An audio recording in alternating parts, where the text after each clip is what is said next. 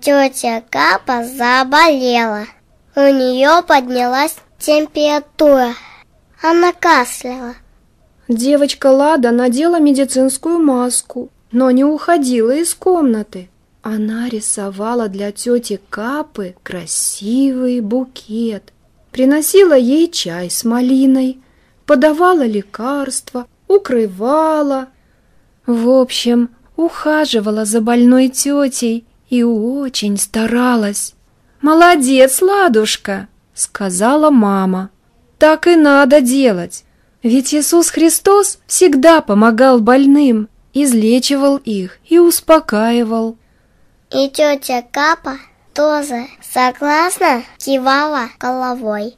А Лада сочинила свой стишок.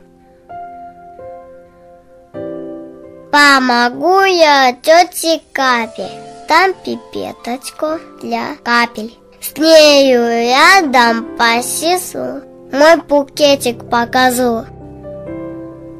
Тетя Капа улыбалась. Добрая у нее племянница растет. А Лада молилась. Дорогой Иисус, прошу тебя, дай здоровье моей тете. И не забывай и о тех, кто болеет и нуждается в твоей помощи. I mean,